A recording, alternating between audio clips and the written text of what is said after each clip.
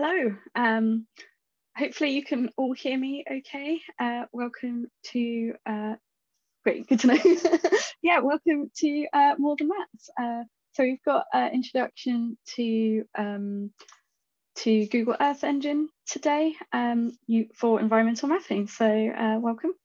And um, once find my mouse, um, just to give you a quick introduction, I know not everyone's uh, used Zoom before, so just a few key features. We've got um, your mute and camera at the bottom, and um, between share screen and end, you might have a more button, or if you've got a wider screen, you might see all the features, but there's some uh, sort of reactions and uh, emojis and stuff there, which you can send.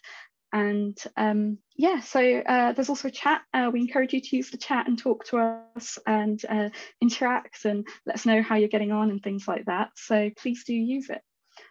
Um, cool. So just before we start, just so we'd really like to know what you're expecting from this workshop and where you're at. So we've got a very, very quick two question survey for you to do. So you can either scan the QR code that's up on the screen or in the chat, uh, Daniela will pop uh, um, a link to, to the survey.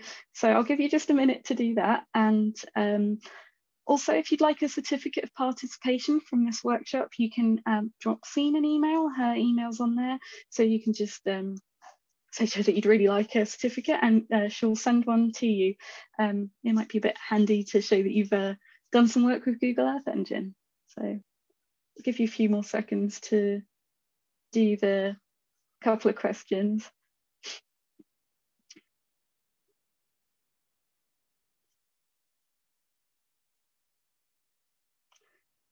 Okay, while you are probably doing that in the background, I'll uh, start by introducing myself.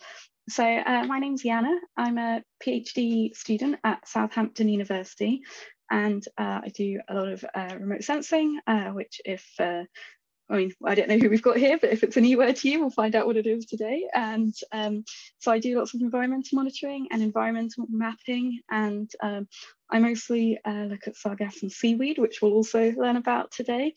And um, yeah, and, and Daniela, do you want to introduce yourself? Thanks, Diana. Um, yeah, I'm by the way in the corner, um, Daniela Rivera Marin, the most Spanish name you probably will hear. And I'm also in, in the remote sensing area, but studying desert, so the other way on the coast.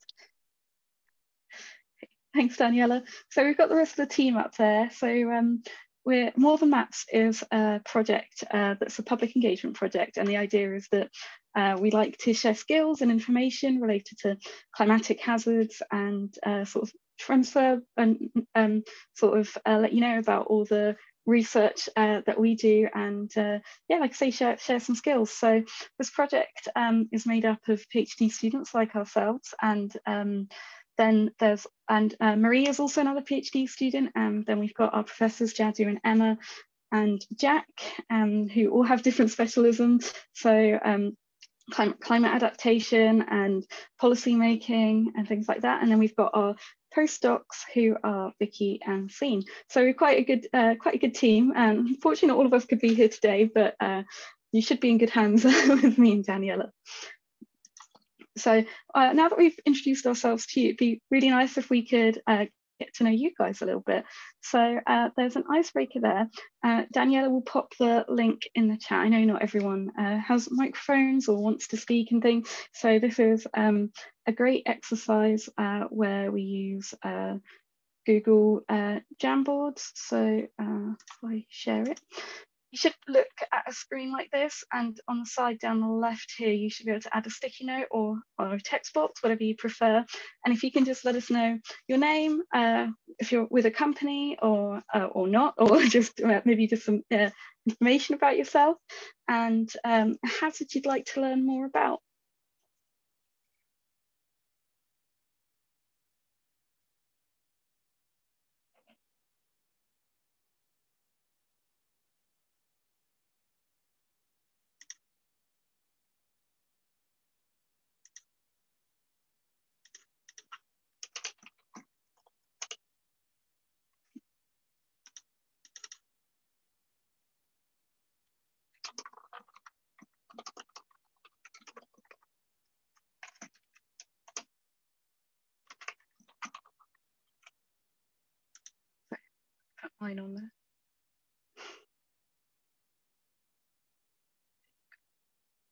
Disappeared, but I did do it. so hopefully that's not happened to anyone else. Um,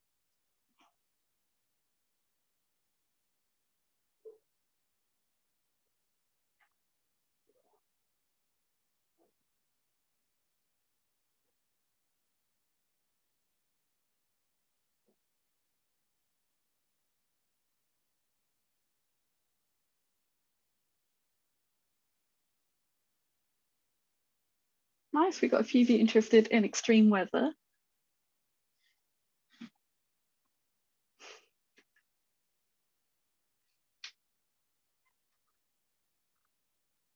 Anything, I like it. Hopefully this workshop uh, will be great for you guys. So we've actually got um, three sort of choices uh, as we go through the workshop. Um, we get to choose what uh, what you uh, do do the activity in Google Earth Engine on. So we've got three different topics. Um, so hopefully uh, they'll be able to tick all your boxes. Flooding, nice. We don't have um, well, uh, we don't have a flooding option today, but we do have other workshops specifically on flooding. So if you're interested in flooding, definitely have a look out for our other workshops that come up. Uh, one of them is also on uh, Google Earth Engine related to flooding. So um, yeah. Great. Okay, well, it's really nice to meet you all. I'm going to crack on um, with, with the rest of the presentation. So just to give you an idea of what we're doing today, hopefully by the end of this workshop, you'll be able to have uh, an uh, understanding of seaweed blooms as a case study for climate change adaptation. Uh, you'll know a bit more about remote sensing and monitoring environmental change and be able to navigate around the Google Earth platform and uh, have uh, developed some code and um, be able to do detect change over time uh, with, with your code. So we visualizing data, applying detection algorithms, and yeah, so it should be really good. So uh, just as a guide, uh, might might be a, a, few minutes off here and there, but uh, we'll have we'll sort of finish the introduction now. About to go on to sargassum uh, case study and then remote sensing basics, and then we'll have a quick break and uh, we'll get on to uh, Google Earth Engine stuff. So if you have any questions at any time, you can use the raise hand function in Zoom or ask in the chat. Uh, Daniela will be keeping an eye on the chat and answering all your questions. So please, if you're lost or you want me to clarify something, please just drop a message in the chat uh, or raise your hand. We, we encourage mics and if you want to if you want to talk to us. And yeah, um, yeah, please please don't uh, sit there worrying. Uh, definitely talk to us. Okay, so a bit about sargassum. So when we think of a natural hazard, uh, we often think of really big events like uh, volcanoes, or um, floods or earthquakes. And we don't often think about other events, but uh, the definition of a natural hazard, uh, which is up there from the UN, is an event that may cause loss of life, injury, health impacts, property damage, loss of livelihoods, loss of services, social economic disruption, or environmental damage. That's a really broad uh, description. And like I say, when we think when we think of those sorts of things, we often jump to really big sort of notable event, events. But actually, there are some smaller changes going on uh, in our world at the moment. And uh, one of those um, is sargassum. So sargassum is a, a type of brown seaweed. There's over 300 different species of sargassum found globally. Um, there's uh, two species, which are Sargassum natans and Sargassum fluitans, which are always floating. So they never grow roots or hold fast and they never grow uh, in seabeds. They spend their entire lives floating and they have these little gas bladders which enable them to float all the time. And it's these two species um, that are uh, that are uh, what, what I study. And um, so they're a type of macroalgae and uh, they're found, um, they were originally from the Sargasso Sea, which is an area of uh, the tropical, uh, well, just the North Atlantic uh, around here. And um, in uh, the last few years, they've escaped out of that, that system and they're now found in the Gulf of Mexico, in the Caribbean, and the whole way across the tropical Atlantic um, to West Africa and the Gulf of Guinea. So um, what we used to see before 2011 was individual clumps, small bits washing up on beaches. But now what we're seeing uh, is uh, on the right side, we're seeing these massive amounts, which you can see these uh, floating, floating bits, um, floating mats, rafts, uh, get um, deposited on the beaches. And um, so this is a, um, a key environmental change which uh, is affect, impacting communities uh, in those environments. So a quick question for you guys. Um, what do you think might be causing this change? You can pop it in the chat. And Daniela, if you could read out the answers that come through, that'd be great. So yeah, just thoughts on what might have caused this change.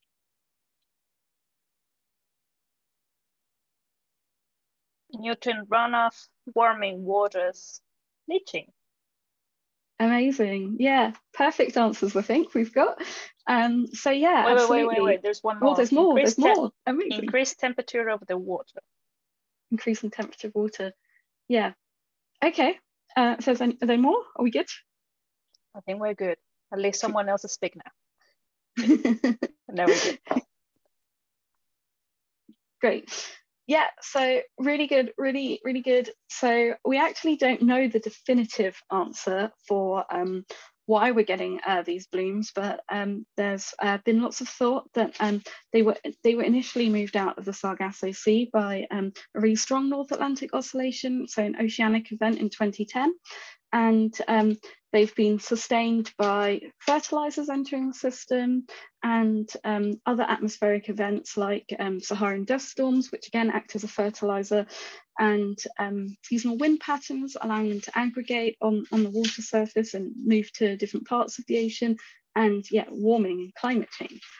So um, what we have here is uh, Rockstrom's planetary boundaries, and um, the general idea is uh, that um, we have changes that happen uh, happen on the Earth's surface and um, or perhaps in the atmosphere, and um, these uh, these changes, um, you know, that they they reach a point and then they create change. So if we look at say nitrogen and phosphorus, we're um, beyond the zone of of uncertainty with them. So um, it, that's a that's a global global trend. And um, so yeah absolutely all these factors and changes could be causing um, causing secondary changes like like these blooms. So yeah you're all really on the nose with your answers.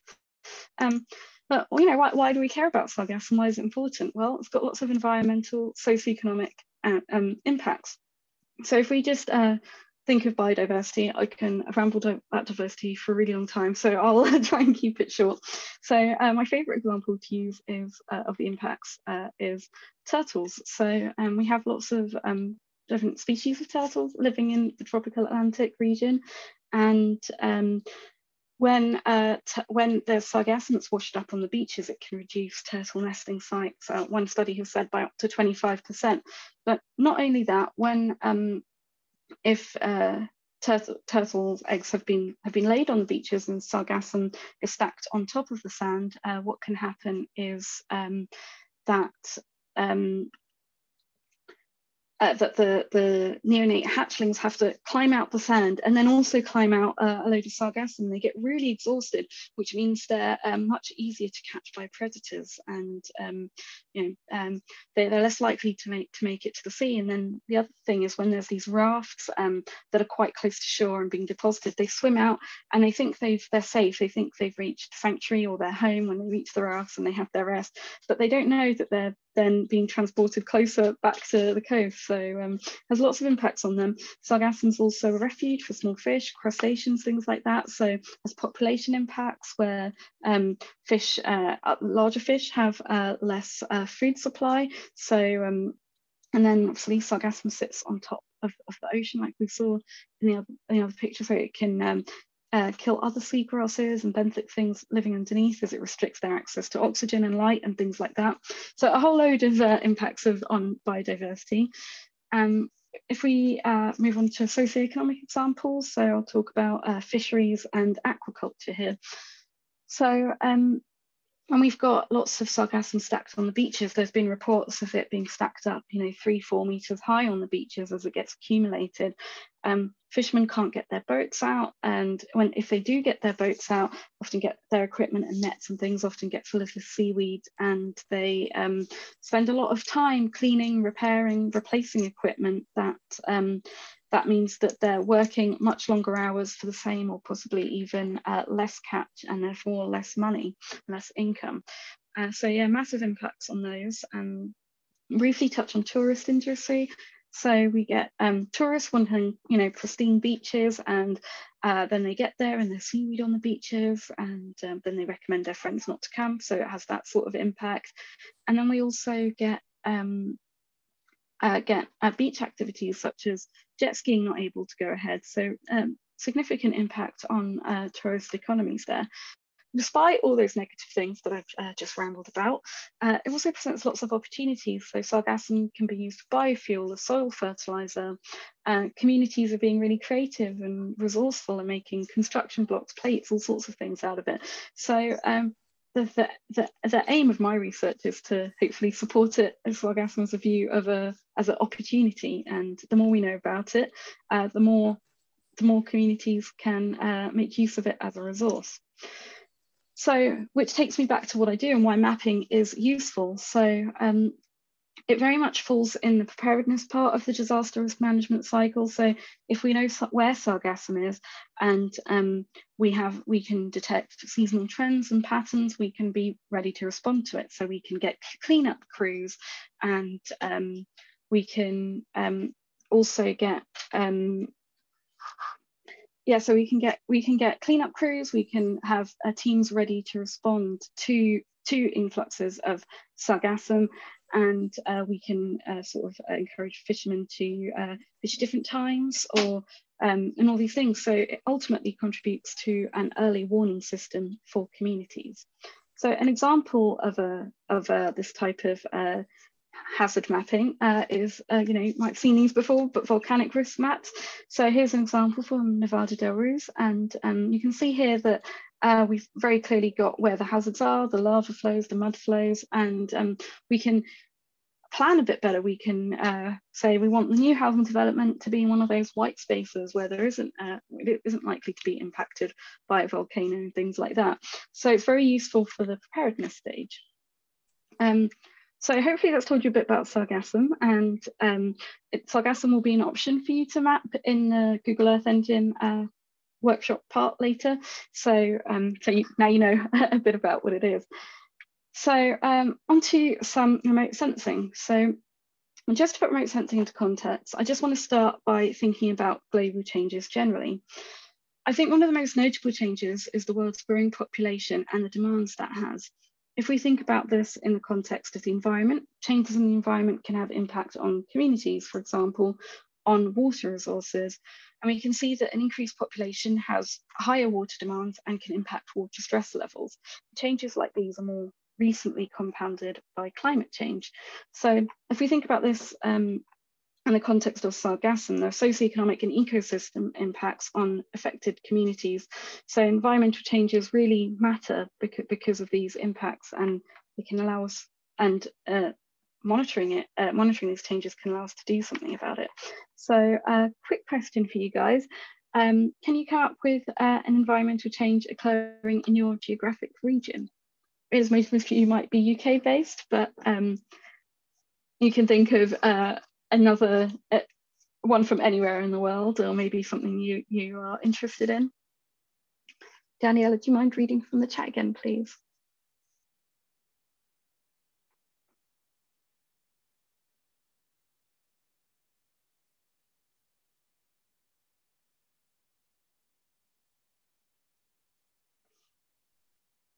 More heat waves, like with the one we have today. Yay.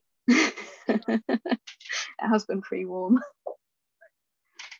Cyanobacteria? Oh, cyanobacteria, yeah. Blue. I saw that one pop up. I can't see them all for some reason, but yeah, go, go for it. Yeah. Predicted rising sea levels, severe coastal erosion, increased rainfall. warmer winters. Amazing. I love the, I love these. They're all yeah perfect examples of environmental changes yeah. happening. Is there more? Degradation and flooding. Yeah, absolutely. Yeah, some of those are really interesting actually. Great. So what we need, uh, so think about what we need to be able to monitor and detect these changes. We need something with global reach, so something that's cost and time effective, and something that will be able to give us information, so data about, about the change. And um, a simple solution to this is using satellites, which collect data regularly and, and tick all of those boxes. So can you think of any other monitoring techniques or maybe a monitoring technique that would um, would be used to monitor the environmental change or could be used to monitor the environmental change you mentioned before?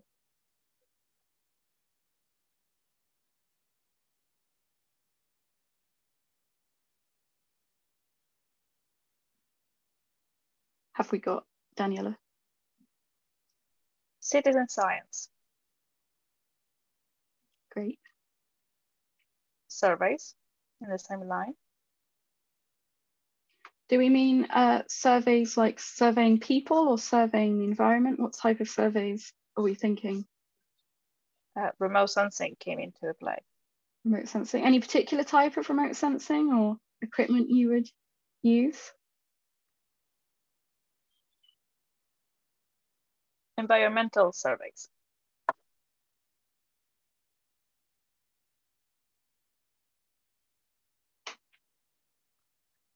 photography, water quality. Great, yeah, really, really good answers there. So yeah, all perfect examples of, of monitoring techniques. Have we got more coming in? No, I think Anna was just answering your question of what type of remote sensing. It was just okay. sensing for water quality parameters. Great, perfect. Yeah, and biological indicators. Great, yeah, all, all, all, uh, all perfect answers, yeah.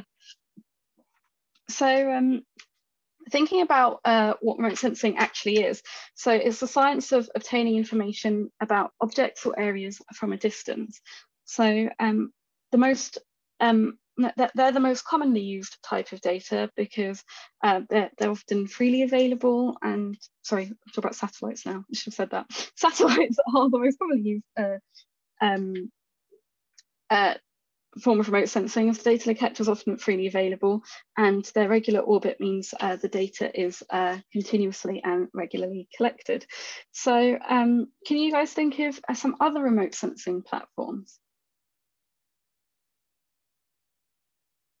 other than satellites? GIS. So GIS is uh, more of a tool to process uh, data rather than a uh, method of collecting data. Uh, so it, it would be used as, um, as part of the analysis process rather than the actual collecting data.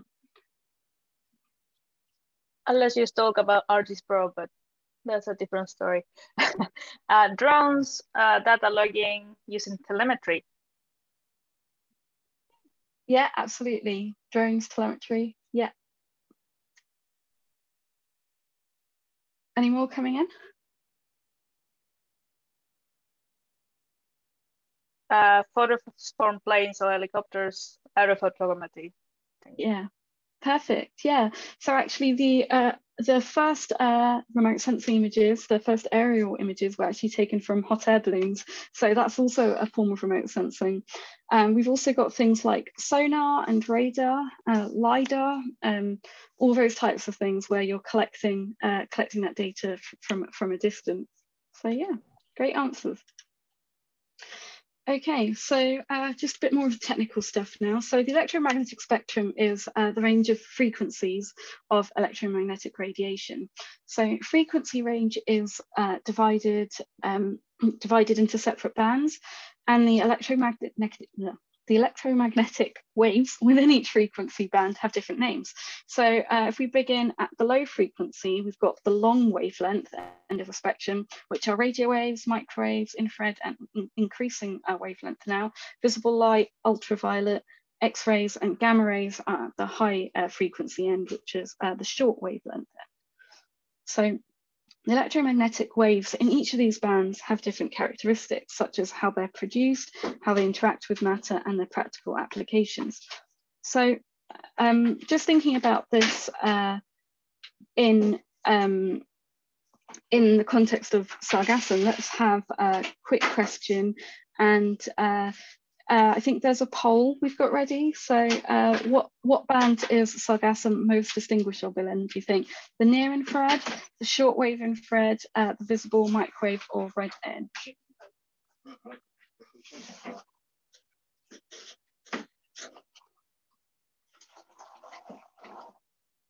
I think there should be a poll that you can see, right?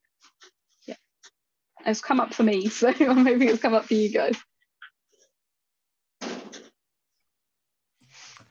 We have five people who've responded so far. So yeah, it has. Great. Give it a few more seconds.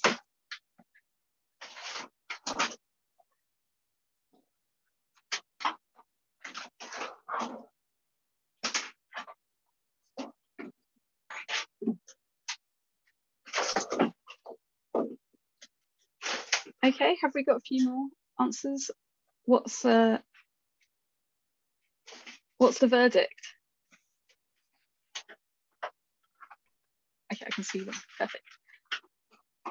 Okay, we've got visible as as the winner. So um, it was a little bit of a trick question because it was one that I didn't actually mention. So the real answer is the red edge. So you weren't too far off uh, with visible and not far off with near infrared either.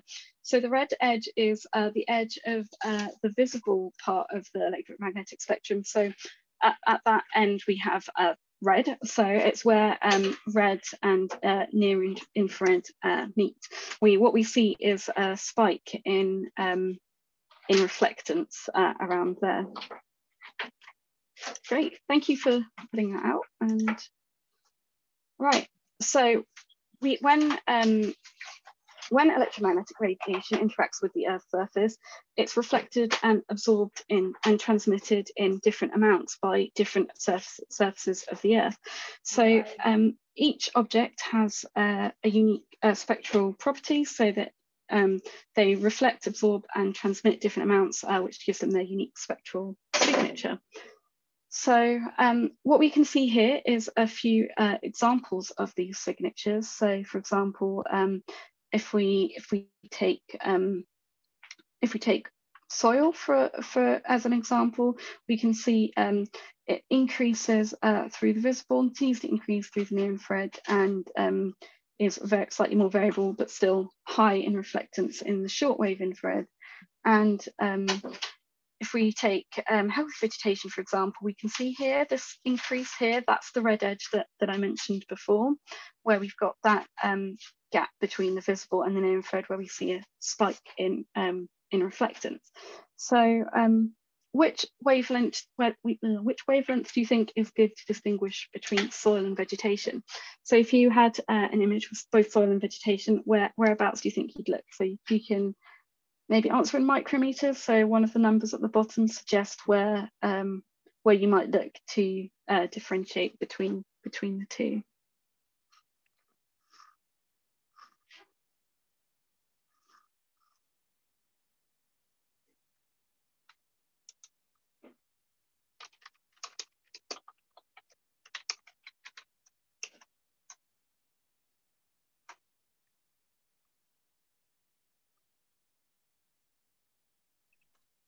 Daniela, have we got anything in the chat? Uh, solid two. Solid two, I like it. Decisive. Anyone else? Or are we are we going with two? Um, another two. Another two.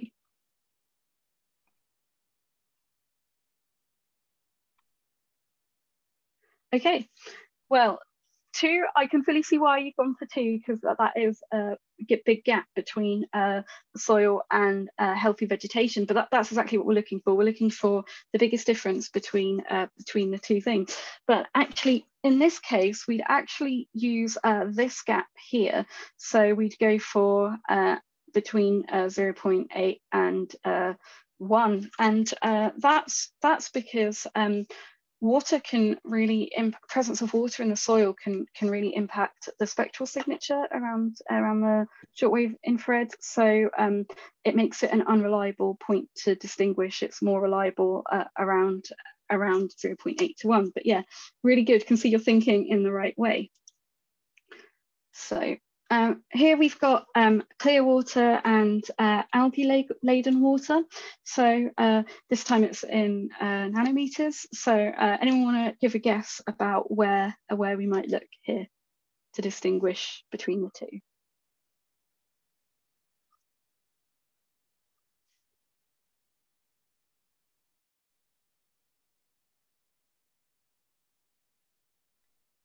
Six eighty.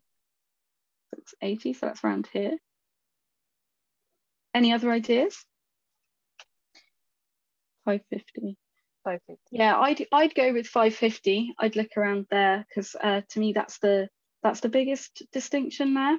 So um, yeah, there are uh, there are different methods as always to to look at things, but yeah, that's that's where I'd go. But yeah, um, great. So um, what we'll be doing today is uh, we'll be measuring greenness uh, in our images. And one way to do that is uh, using this uh, index, which is uh, the normalized difference vegetation index. So um, it gives an, it can give an indication, like I say, of greenness or um, biomass. And what it does is it gives us a ratio. So we've got near infrared subtract band subtracted by the red band divided by the near infrared band plus the red band. And that gives us a ratio. So we get uh, values between minus one and one. So every pixel in, in the image would have a value of minus one to one, somewhere in between. So um, just to work out um, which end of that, you know, it was is is one uh, healthy vegetation or unhealthy vegetation, or is it something else? So I've got this little table here, which I'll just uh, talk you through so you can hopefully see the sort of maths and thought behind uh, NDVI. So um, if we look at red in the healthy, um, it's lower, it's got lower reflectance um, than um, in the unhealthy. So we'd put low in that box and in the near infrared, it's got high.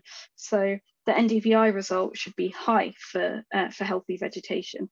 And when we look at unhealthy vegetation, the red um, the red uh, band is um, high in unhealthy and lower in uh, the near infrared and the NDVI should be low. So um, we're looking for values uh, close closer to one, uh, which indicate greenness and um, vegetation. So uh, that uh, wraps up our um, introduction, introductory sort of um, information for, for the next part. So um, we are three minutes ahead of schedule, which is always really nice. Um, but I just want to make sure that everyone has signed up for a Google Earth Engine account. Um, Daniela's just popping uh, the link into the um, the chat now. But can I just get a hand up if you if you haven't yet signed up for a Google Earth Engine account, just so I know where we're at. I think it was emailed out to you a few days ago. Um, So yeah, hand up if you haven't managed to do it. Have we got any hands? Sorry, Danielle. We have two dones. so two dones or two don't? Yeah, like done. They done. They okay, done. Great. Okay. Okay, so if you haven't, there's no worries. Uh, if you wouldn't mind uh, using our quick break now to sign up, that would that would be great, and hopefully the email will come in. Uh, Daniela has popped the link in the chat, I think. Yeah. Yeah, great. So there's instructions on that link uh, for how to do it. If you have any trouble, just let us know in the chat and Daniela will be on hand. Otherwise, uh, we will see you back here. Uh, we'll give you a 12 minute break. So at uh, 10 to, so at 6.50, uh, I assume if you're not in the UK, you might have to do the work it out, but um, I think everyone from the initial thing that like they're here. So yeah, 6.50, so it's about 12 minutes, 11 minutes now, okay?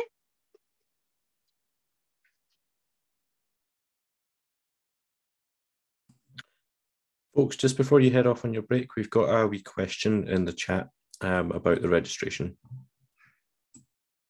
Yeah, sure. Um, see if I can find a chat.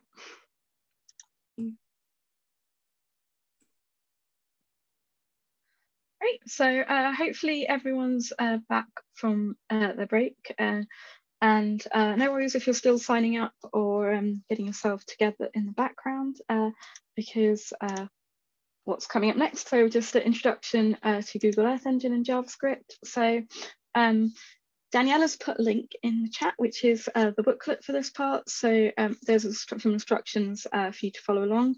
Don't need to look at it just yet, but just um, sort of have it ready. Uh, so there's, uh, you can use the QR code on the screen uh, uh, if you prefer. if you have got a bigger screen than a phone, I do recommend having it on there as I think it might be too small on, a phone. So um, the link in the chat might be a bit better, um, but entirely up to you. Um, so the top of that booklet, there's a couple of videos which you, you can watch in your own time. So um, what I'm going to show you is uh, a video. Uh, it's a Google Earth Engine sort of original sort of video, a bit about why uh, why Google Earth Engine was developed and, and what for. And um, uh, the video on the booklet is the newer version. So they quite recently came up with an updated video. So I still personally prefer this video. I think it shows uh, what Google Earth Engine is about a bit better. Um, but it is it is outdated and you'll see that the, the website and the interface uh, isn't quite what we'll see today, but the concept is the same. I'm gonna go home, ahead and uh, play that.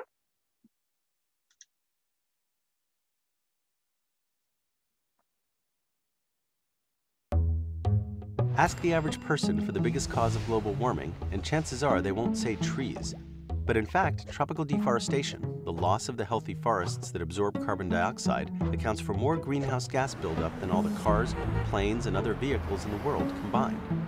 Today, there's a growing consensus in favor of protecting the world's forests. But for these sustainability projects to succeed, tropical nations have to be able to accurately observe and report on the changing state of their forests, often in remote parts of the world. Every day, Earth orbiting satellites gather incredible amounts of environmental data, but storing. Oh, sorry, accidentally clicked. Oh, sorry. Oh. Consensus in favor of protecting the world's forests. But for these sustainability projects to succeed, tropical nations have to be able to accurately observe and report on the changing state of their forests, often in remote parts of the world. Every day, Earth orbiting satellites gather incredible amounts of environmental data, but storing and publishing this information is an enormous task, and as a result, much of it is never seen by the people who need it most. That's why we built Google Earth Engine. Earth Engine is an online environmental monitoring platform that makes available to the entire world a dynamic digital model of our planet, updated daily. We've started by publishing online for the first time the complete archive of more than 25 years of historical Landsat imagery for the planet's tropical regions. This archive gives dozens of countries access to the most current data about their forests. Earth Engine also gives scientists and officials high-performance tools to analyze and interpret detailed environmental data, from rainforest changes in the Amazon to water resources in the Congo. Calculations that used to take hours or days to perform can now be done in minutes or seconds. Earth Engine is also empowering local communities in the developing world the indigenous Suruí tribe in the Brazilian Amazon, for instance, is using satellite imagery in combination with smartphones to monitor and protect their rainforest. Think of Google Earth Engine as an environmental watch program in which everyone can participate. Local citizens, governments, scientists, donors, the media, anyone who's interested in what's happening to the natural world. The work matters. Today's environmental challenges are complex and daunting, and we all have to do our part to meet them. To that end, we'll continue developing this platform, adding more data, more tools, and new applications. We hope that over time, Google Earth Engine will help reduce tropical deforestation, empower developing nations and local communities, and contribute to a more informed understanding of our planet. If you'd like to learn more, please visit us at earthengine.googlelabs.com. We hope you enjoy exploring.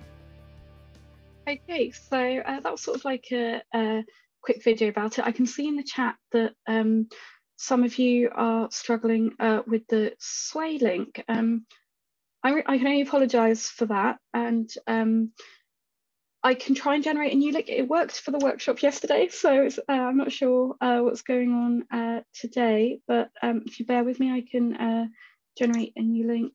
Um, if you think that's helpful, should I do that, Daniela?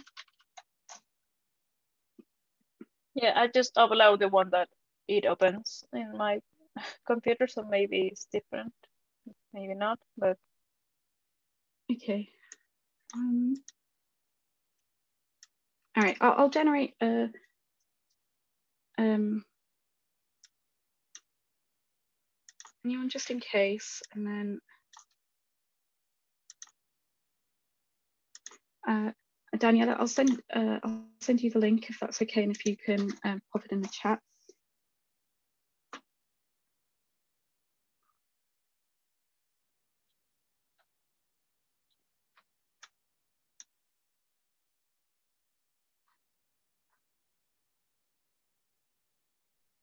I think it's the same one that I just sent. Uh, maybe maybe if, try try try okay if it's I think say suggest refreshing the page then um, if it's the exact same link try refreshing the page because I've double checked the settings and it should be that anyone anyone with a link can access it.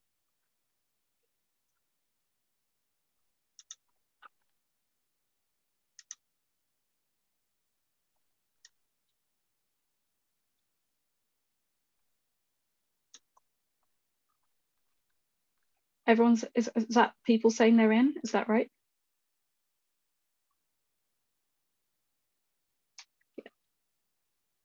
Okay, great.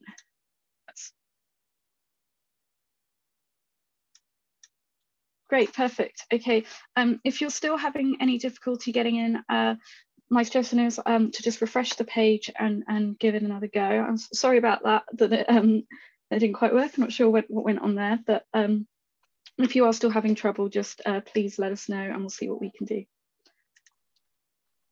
Okay. Um,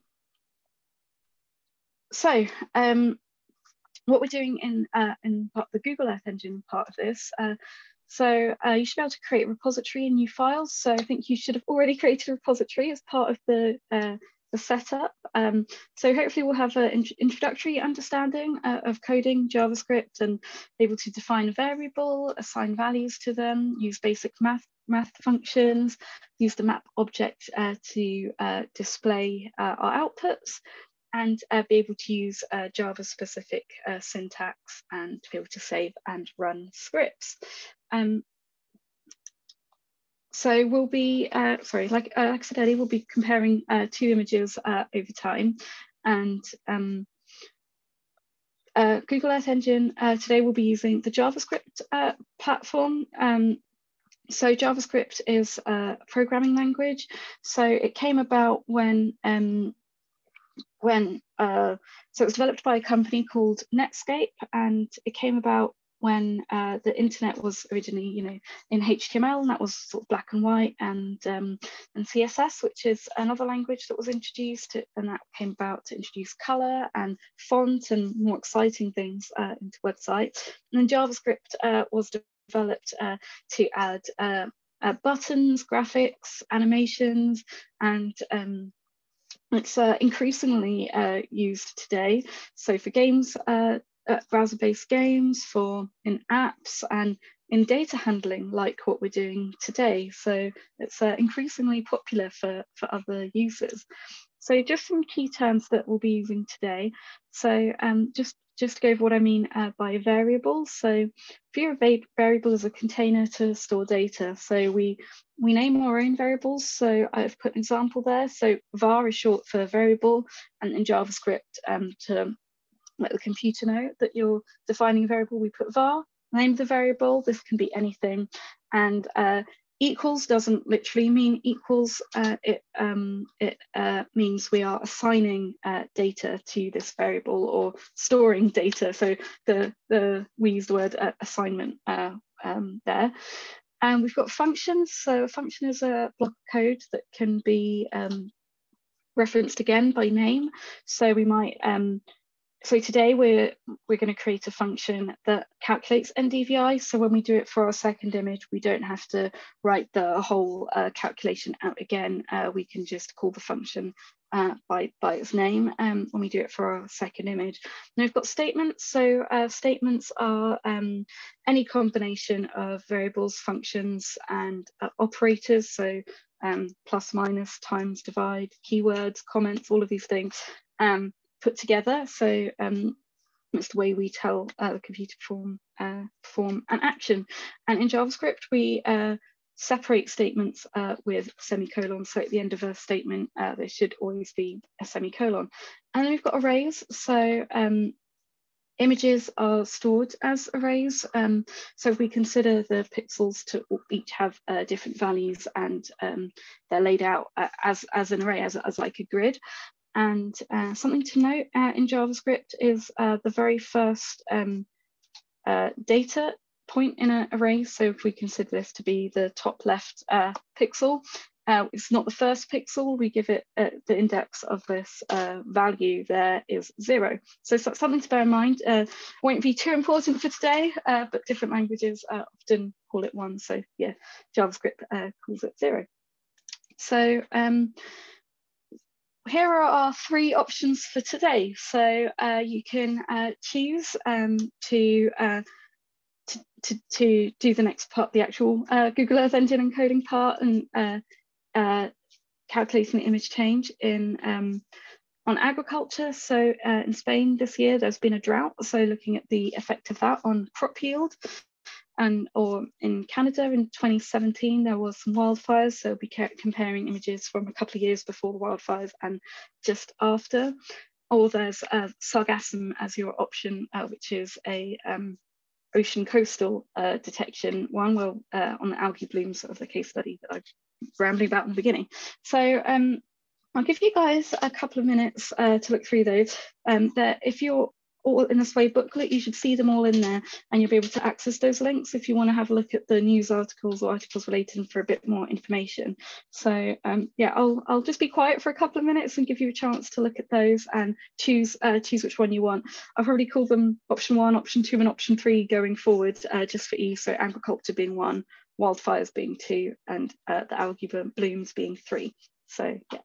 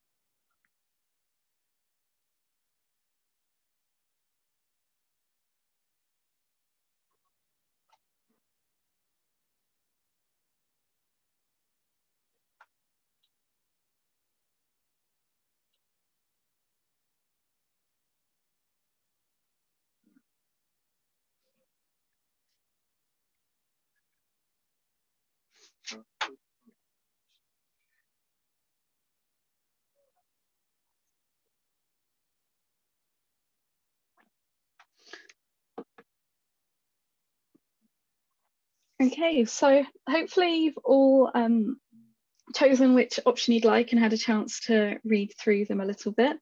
Um, so if we all want to make sure we've got code editor up, so hopefully you're looking at a screen that looks a little bit like this. So just point out uh, a few features for you. So we've got the code editor up here, that's where we'll be uh, typing our code. We've got the map object there, and that's where we'll make our outputs appear. Um, we've got uh, geometry tools um, over here, which uh, we won't be using too much today. And we've got zoom uh, is a bit of an old screenshot. So actually zoom is a plus and minus button. It's no longer a slidey bar.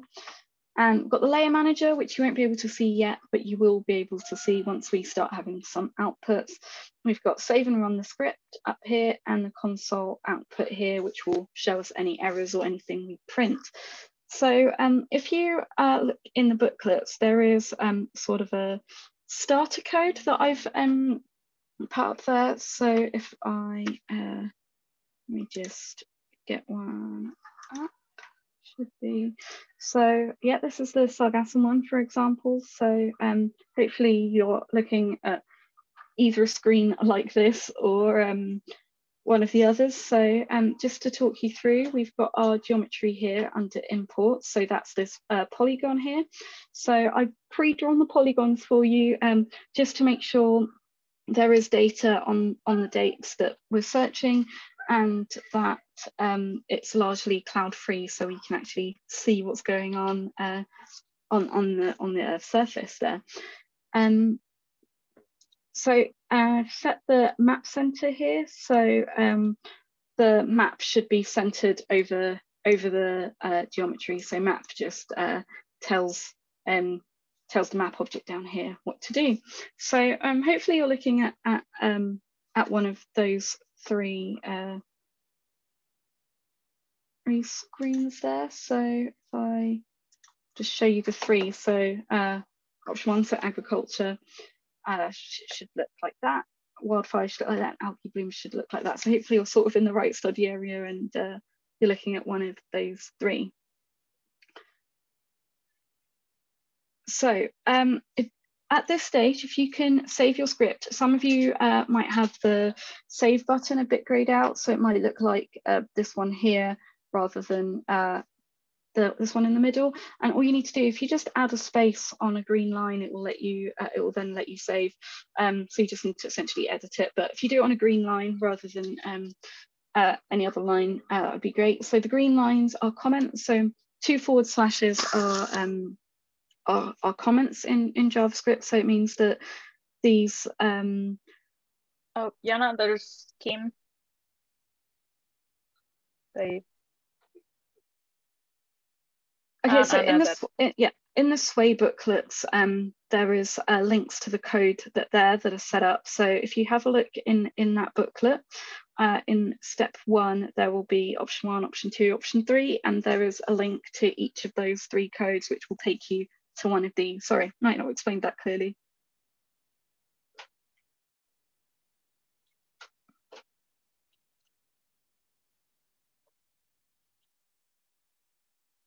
Okay, great. No, no worries. I probably jumped ahead. um, I'll wait for everyone to catch up and uh, give you all a few seconds to make sure you can see one of those.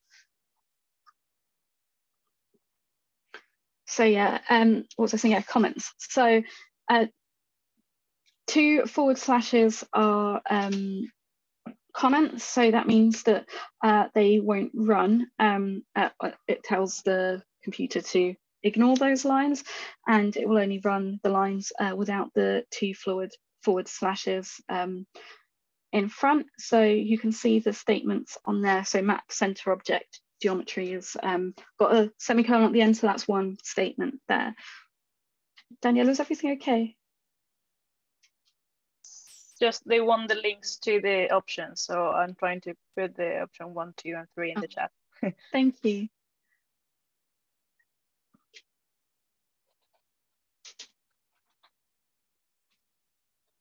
Okay, I see you got it. I'm, I'm going to hope that means that everyone is uh, sort of there. Uh, so I'll give you a bit more time to save your script. So like I say, if, if it's grayed out and you can't save it, add a space on a green line and then you should be able to hit, hit that drop down and then hit save as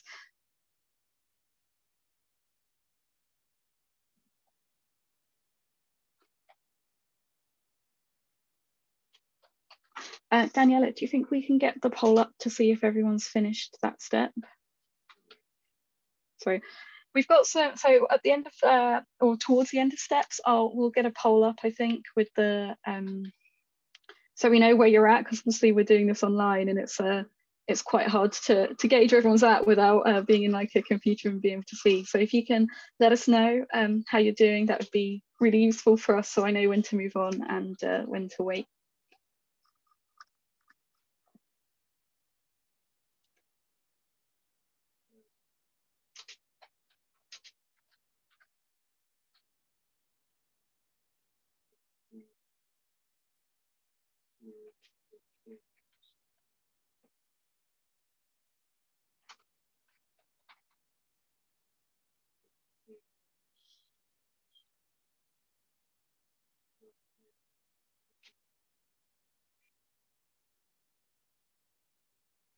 Uh, no, if the polygon's not appearing, it might be because, um, hang on, it might be because it's hidden. If you go on, if you hover, don't click, hover over geometry imports, you might need to tick the box. So if you see if I untick it, it goes, and if, if I tick it, it comes. So you might need to just uh, tick the box to make sure it's, it's there if you can't see the polygon. Uh, in terms of saving, um, what you need to do is if you go on one of these green lines, just add a space on one of them, and then you should be able to see the save button. If you press the drop down there, you press save as, it will then uh, give you uh, uh, an option to name your file, and then you'll be able to press save. I'm going to press cancel, but you need to press OK.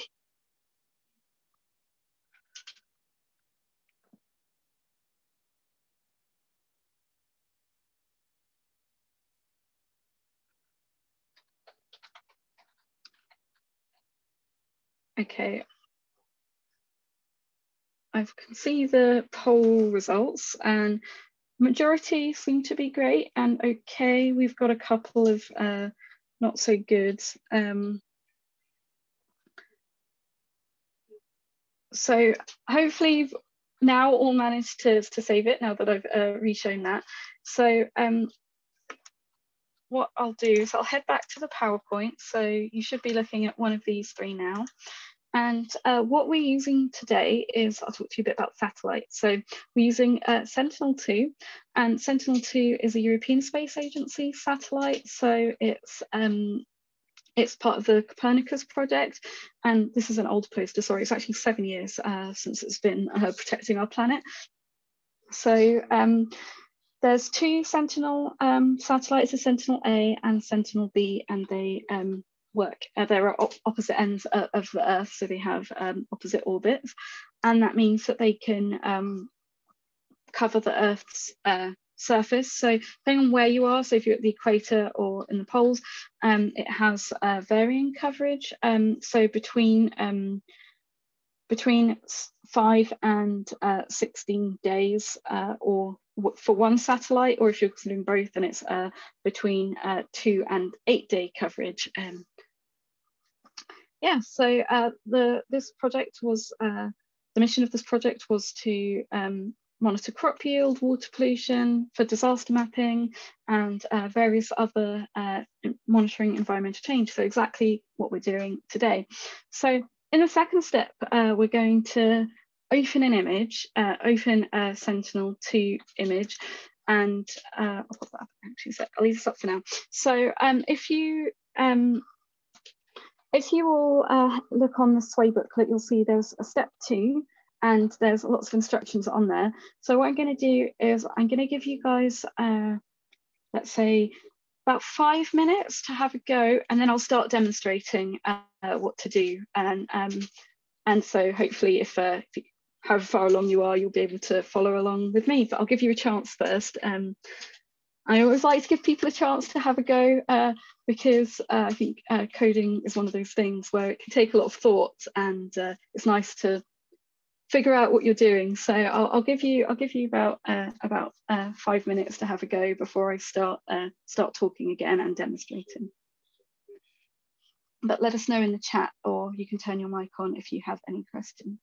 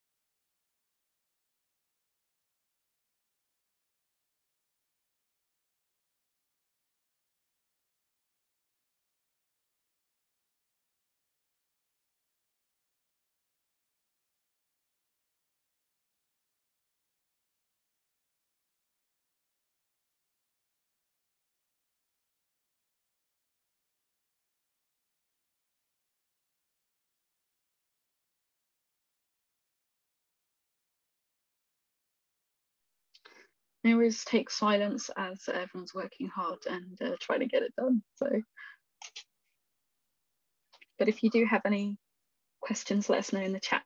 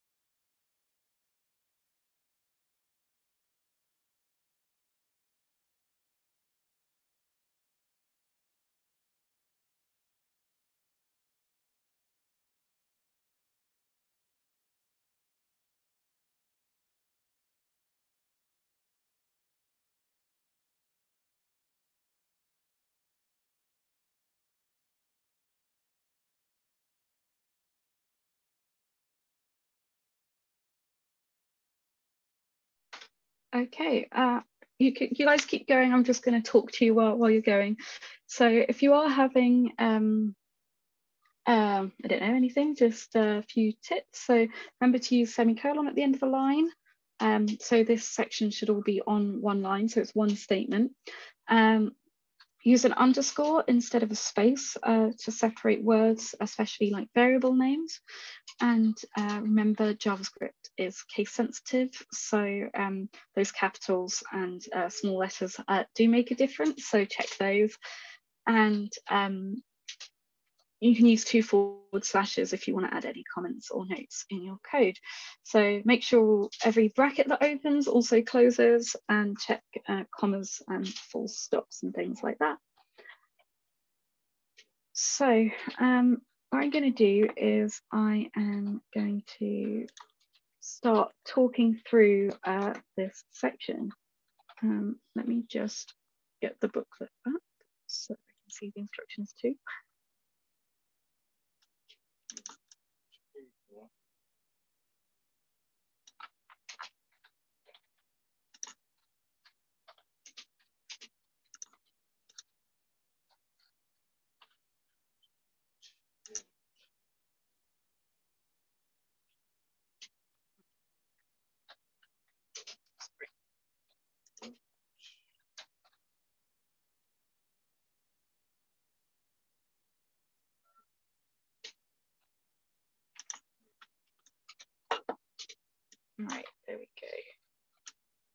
Instructions up on my screen. So um, we should be uh, going for um, one line of code. So we've got our variable. Uh, so I'm, you can name yours whatever you like. I do recommend uh, keeping a, a, uh, little notepad or um, a little um, a little um, um, piece of paper or something with uh, your variable names on it. So we will have about eight, eight to 10. So you just write down what it is and maybe variable name one or a little description of what it is. So in this case, it's image one. So you can call it what you like, maybe image one or call it call it the date, data set one, uh, anything, um, anything you'd like that means something to you. So it can be anything random. Um, it can be um, It can be a cat, fish, dog, anything, anything that uh, that works for you. but um, it's better if it's something that actually has uh, has significance. So um, I've zoomed in a bit, so hopefully you can see it. So I'm going to call mine uh, dataset DES, short for December. So notice I use the underscore to create a space there. Um, and then uh, the that we should have uh, copied and pasted is uh, ee dot um, image collection. And uh,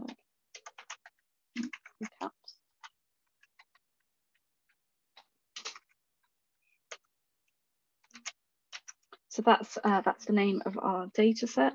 So you can see that Google Earth Engine helps you along a little bit by uh, putting the brackets and the other end of the speech marks for you. So like I say, just make sure you don't have uh, too many opening or too many closing. So next uh, we're gonna make, uh, we're gonna filter the bounds of our um, data set uh, by the geometry, which is the, um, the polygon that's um, just down there. And sorry, bear with me one second.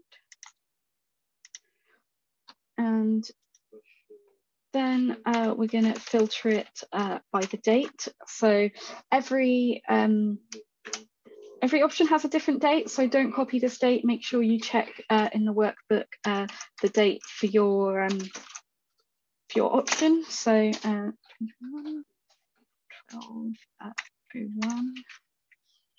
Mm. So I've made sure that in um, in each of these uh, dates um, that there's only uh, only one image. Um, not two. That should be a comma. Sorry, not concentrating. Um, yeah. So there's only one image in that. So um, there, sh there, there, shouldn't be uh, more than more than one in that gap. Um, so map uh, function spell so at this point, um, we're saying uh, we'd like to map the image and um, want it to return an image clipped to our geometry.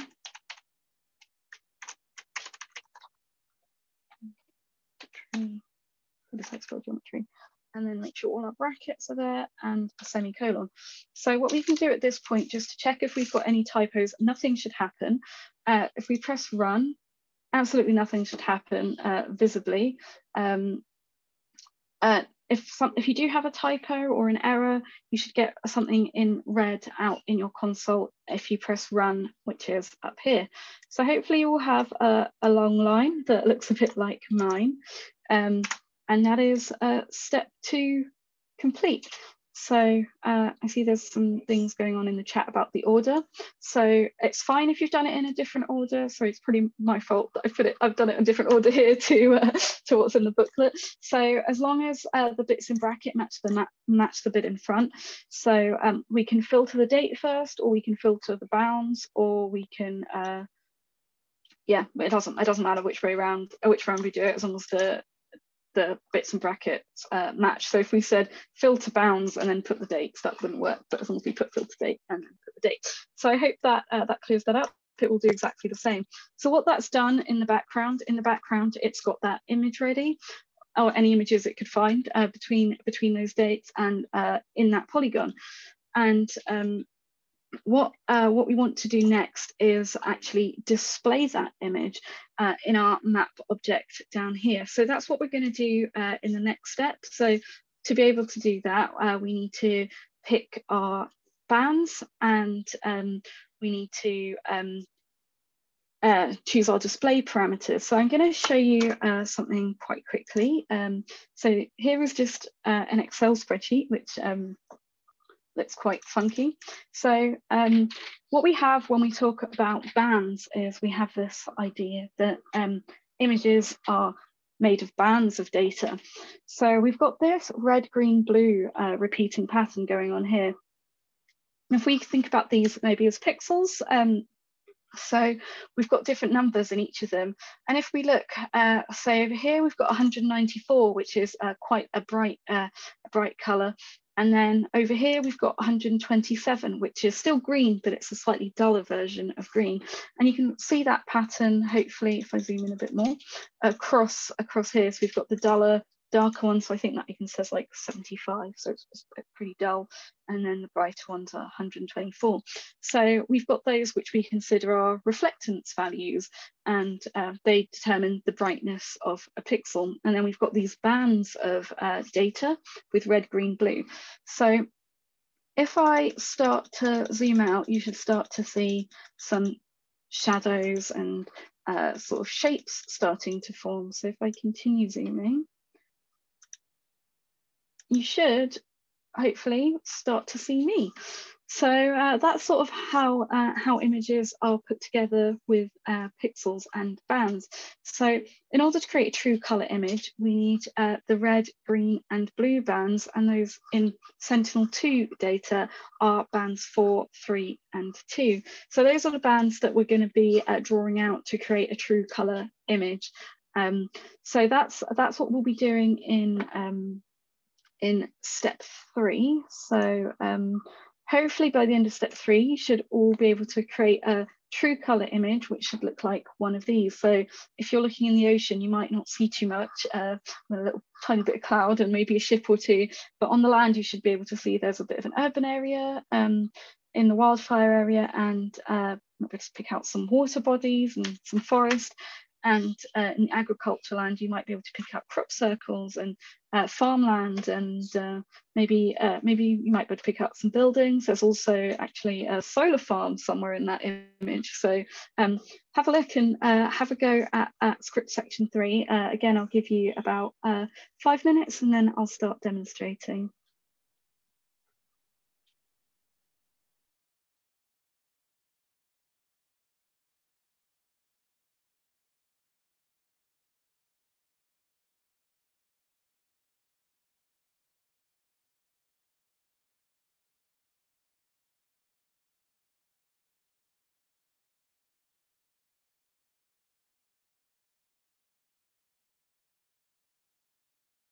as before, please let us know if you have any questions or queries. Uh, no question is too small, we're here to help and uh, we'd rather you understood it than uh, sat there being unsure, so please let us know.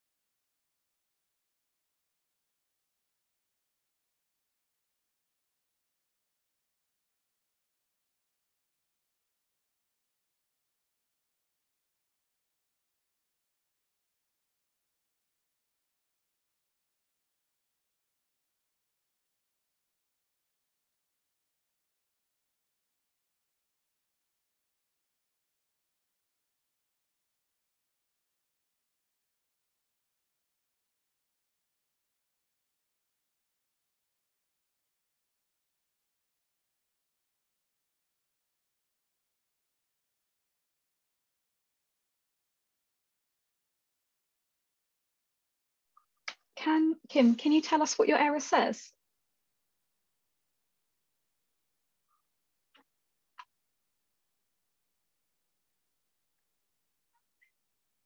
Yeah, or you can just copy and paste uh, what's there and we can have a look. Yeah, that might be easier.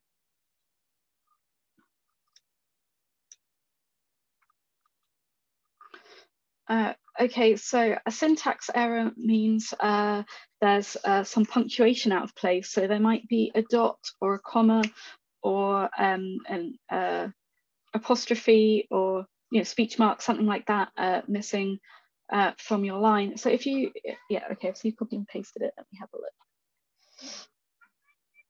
Okay, so you can't put brackets in the uh, variable name. So um, if you take the brackets out from around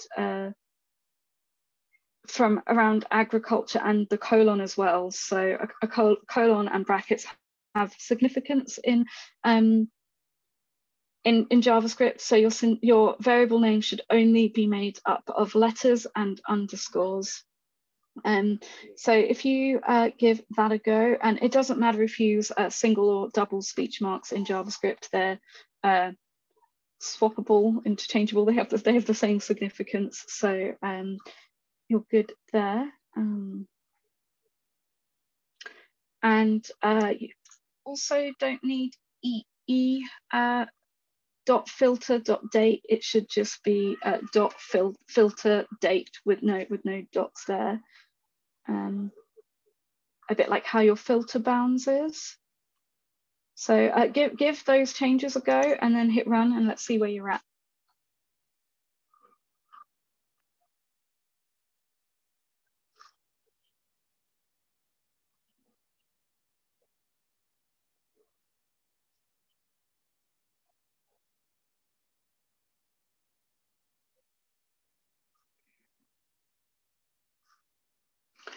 Uh, if your gear is purple, it's probably because uh, your polygon is still on it. So if I just uh, show you.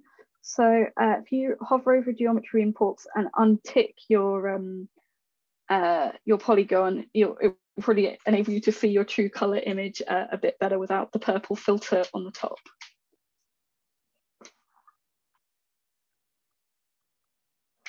Perfect, great. I'll give you uh, another 30 seconds or so before I start talking and demonstrating again, just to make sure.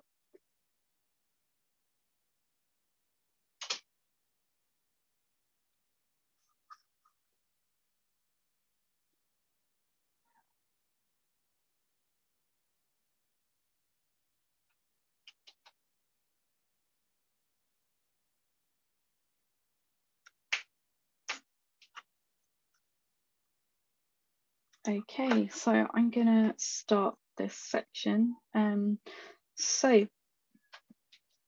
I'll start with the, the bands that we want uh, displayed. So again, we, we've got a variable. So we go with var. Um, I'm gonna call them uh, TC uh, bands, um, just because that's logical to me, true color bands. Um, but you might want to call them desired bands or just bands or image bands, any, anything that makes sense to you. But uh, like I said before, make, maybe make a note that this is a variable name too. And then we want square brackets uh, this time. And uh, we're going for band four and band three and band two. It doesn't matter what order you put these in. Uh, you could do two, three, four, three, two, four, and any anything uh, as long as you're picking out the correct bands. Again, we end our statement with a semicolon. And then uh, we want to put, um, sorry, I'm just seeing there's more things in. Okay, I'll come back to errors. I'll continue demonstrating this and then uh, uh, Danielle, if you can help in the chat, uh, if you can, and um, if not, then I'll come back to to it um, after I've demonstrated this section because might answer any errors that come up. So um, then we want to um, we want to uh, define our display um, parameters. So we, we've got, I'm going to call it display. Again, call it what makes sense to you. You might call it display params or parameters or something like that, or anything you like, as long as it makes sense to you. And then we've got curly bracket. So you, again, you don't have to have spaces between, like I've put a space between the equals and the bracket. I just do that for readability because I prefer it, but uh, you don't have to, you don't have to do that. You can, um, you can not have spaces uh, if you prefer. So we've got, we're selecting our bands. So we're going for true color bands, which is the variable uh, I made above and uh, going for minimum of uh, zero and um, a maximum of 3000 and uh, again any semicolon so that, just to explain the um, minimum maximum. So uh, in satellite imagery we get um, anything below zero, uh, so we get minus numbers, uh, bad data or no data, or um, all reflectance should be should be uh, above zero. And a maximum of 3,000. We don't expect reflectance to be to be nearly that high, but it's just to be inclusive so we don't miss any uh, pixels of data. Okay, um, so then uh, we want to add uh, this to um, actual map object here. And we do, do that, we talk directly to the map. So we say map, map has capital M and add layer. And we're adding um, our initial data set. So our variable name one. And we're defining the display parameters and then we're giving it a name. So I'm going to call mine um, S2 image December. Uh, so we'll use that again. And then a semicolon at the end. And now if I hit run, let's see. Okay, I've got a layer error. I spelled Copernicus wrong. Have I spelled Copernicus wrong? I have. It's an E. Serves me right for not copying and pasting.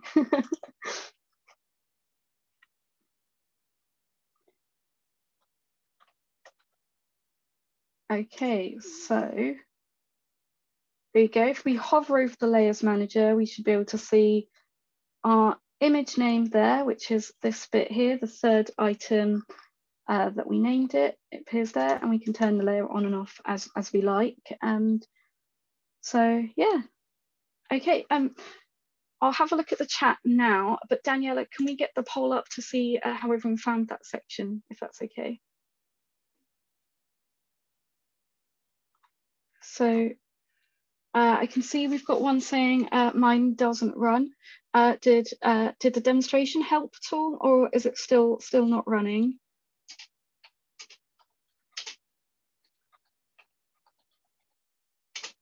And if it's not running, can you tell us what the error is in the console?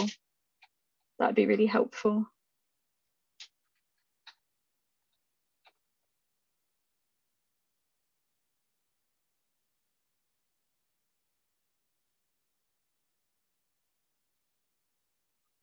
So can, can you tell us what the actual error says? Because uh, then we'll be able to know what the what the issue is. Um, what it, what it says in the console in red.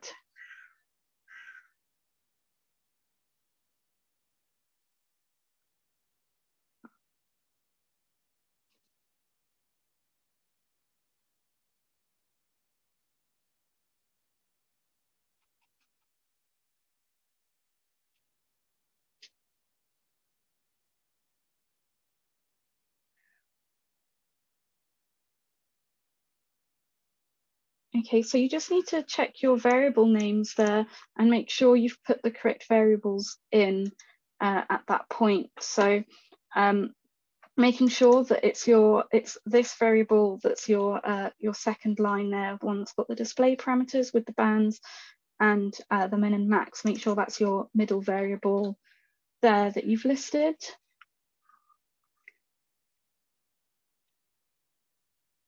Because um, that sort of error comes up when you've not got a display or a parameter variable listed and it's a data variable instead.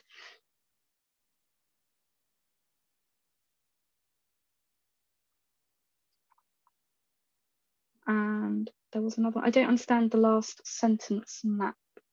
Uh, so um, what this what this statement does is um, so map is uh, so this this this bit here is instructing this map object here to visualize all of the things that we've just set up here. So we want our data set, which are our uh, satellite data, which is this variable up here for these dates in this region. So we're telling it that's what we want. And then the second item is telling it uh, the display, um, display parameters that we want. So we want these three bands that we identified before, the red, the green, the blue. and then we want the pixel values to be above zero. And we want the pixel values above zero because anything below zero is a missing data point or bad data. And um, so that that's what, and then this last item is naming our layer. So when we go in the layers manager, we've got the name of our layer over here. So we know what it is when we add more layers. So I hope that makes a bit more sense. Um, just gonna see.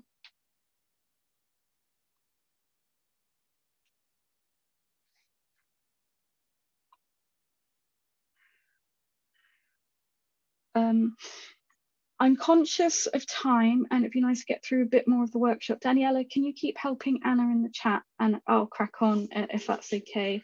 Um, just from the poll, looks like most people are, are happy with it. So um, yeah, I think that's probably the best uh, the best way to, to move forward. Um, so yeah, you should all be looking at, at one of these. And uh, so step four now is uh, opening the second image. So we're going to repeat the code uh, for different dates. So um, I'm thinking the workshop's going to finish at eight. So I might uh, I might actually just uh, demonstrate how to do it and you can follow along. Um, this, the Sway booklet is um, is yours. Uh, we don't uh, we don't remove access or anything, so you can, can keep working through afterwards. And you're welcome to email us or contact us with any questions. So if I um, if I demonstrate, then um, hopefully we'll um, yeah we'll be able to get through some, and you'll have um, you'll have a chance to to do it to continue afterwards as well. So um, what we want to do is we want to repeat this for a second image. So I'm going to cheat a little bit. And what I'm going to do is I'm going to copy and paste that line, but I'm going to rename it. So um, I'm going to call this variable July and I'm going to change the dates. And um, so for uh, for this option three, for the Sargassum one, uh, it's July, so 07, 05.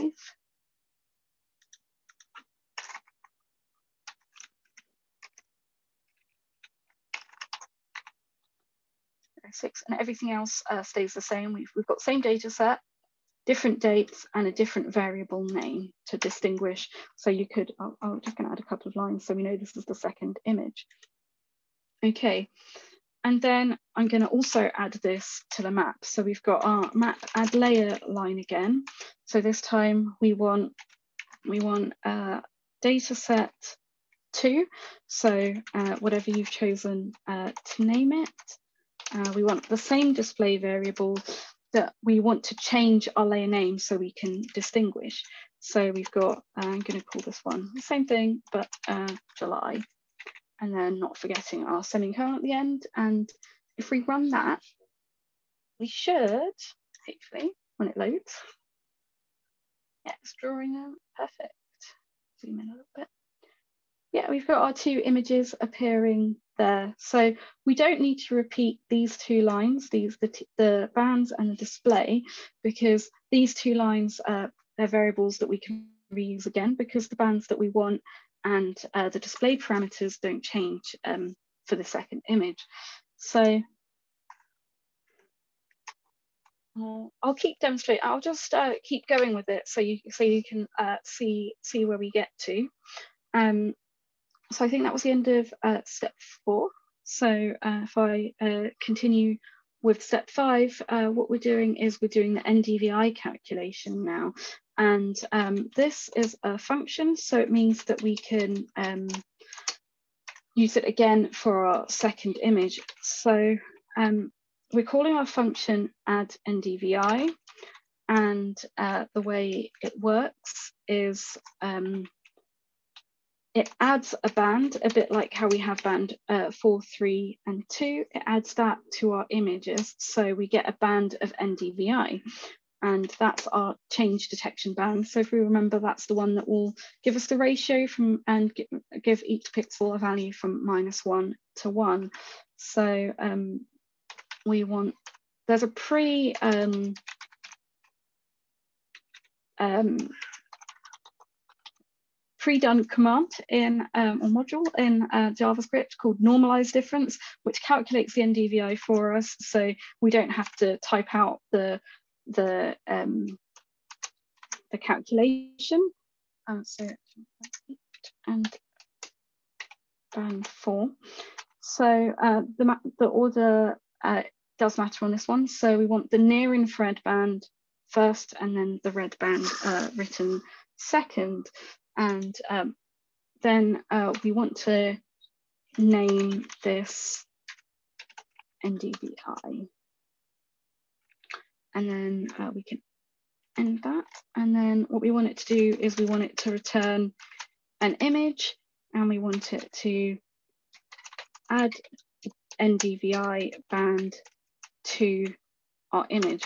And then uh, we just need to close the function like so.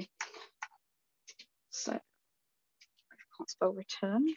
Um, so you can see I've got that little red cross there, which uh, instantly tells me there's uh, something going on. Um, and it closed the bracket for me, which I didn't see. So um, that's just a function. I've not actually applied it to any image yet. And what I'm going to do next is, um, is apply it to an image. So um, I'm going to call this uh, December NDVI. Um, I'll put it in small actually. Um,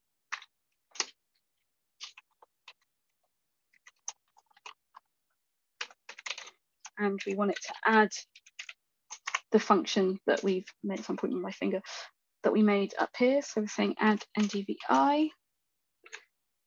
And uh, then, uh, well, next we need to choose our color palette. Uh, so I'm going to create a variable uh, with uh, some colors in it. Um, just going to uh, this is this is all explained in in the workshop booklet. So um, we've got. If you remember, I was talking about how JavaScript was developed. It came from internet-based uh, scripts. So um, and I said CSS was uh, used to add color and fonts and things. So hex colors are derived from CSS, and um, so I'm just to put a bunch in, but there are actual links to um, in the booklet where you can see the different color palettes and choose a real color palette. Yeah, there's six. And I'm just going to choose a few. You can choose as many as you like. Um, there's there's sort of no limit to how many colors uh, if you'd like to include. Um, but I do recommend uh, putting putting more than five in this case, just so we can um, see. Uh, I don't know what this is going to look like. I'm just putting random colours uh, just for now. Um, uh, just to demonstrate. So yeah, I'll leave that there as it is. And then I'm gonna add that to the map. Um, so similar to before when we add um, add these to our layers. So I wanna add, uh, oh, I put dev instead of December. Uh, so I'm gonna put data set um, December NDVI. And I want to select, um, select the NDVI band. So if you, if you remember in the function, we named that band NDVI. So the name of the function is add NDVI and the name of the band that it adds, adds is NDVI. So over here, we want to add that band. Um, and then we want to uh, specify our colors. So palette, uh, the NDVI palette, I um, made just the line above, and then the name of uh, the layer. So I'm going to call it December NDVI. And then I need to close that. So same as the add layer above, we've got our data set, but this time we've selected the specific band we want to present. We've got our display parameters, so in this case it's colors, and um, we've got our layer name.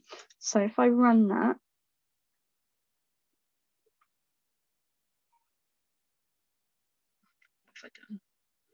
add bands, that should be add bands with an S. again. Yeah, it's drawing our layers. So the colors I chose were absolutely not good colors. yeah, not contrasting colors at all.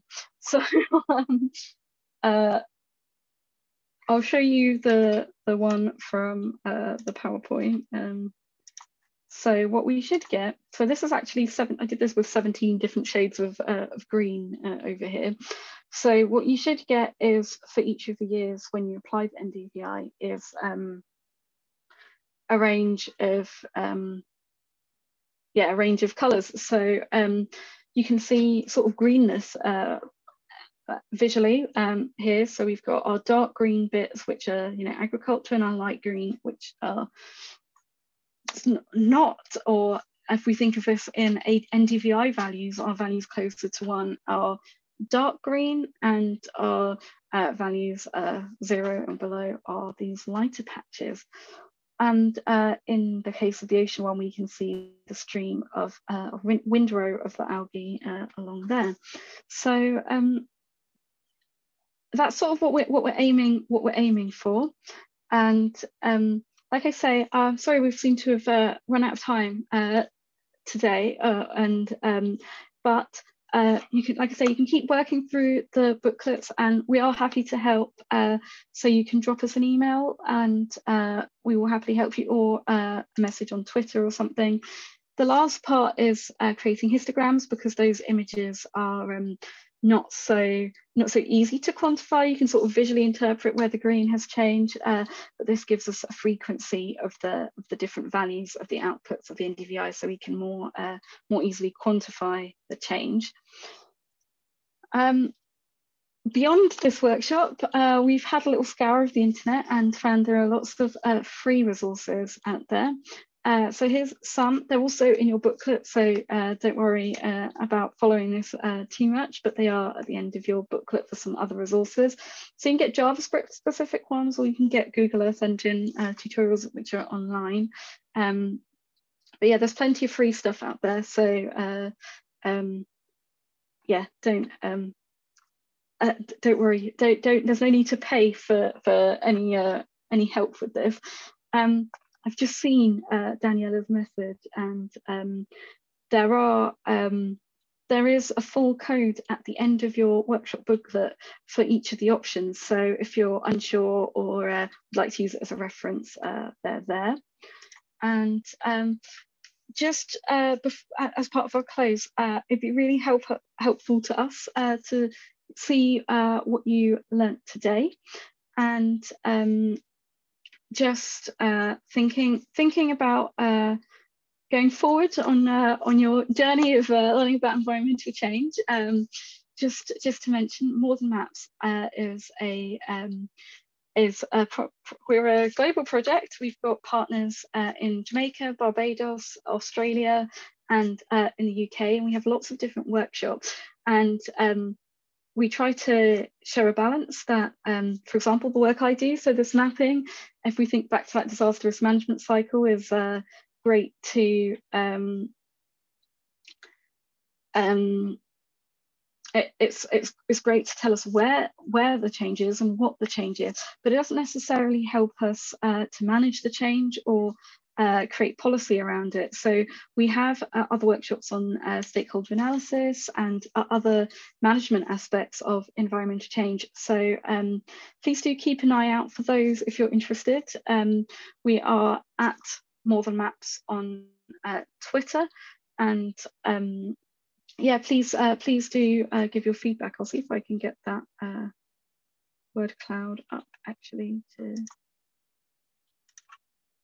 yeah, we've got we've got results coming in, which is amazing. Thanks, guys.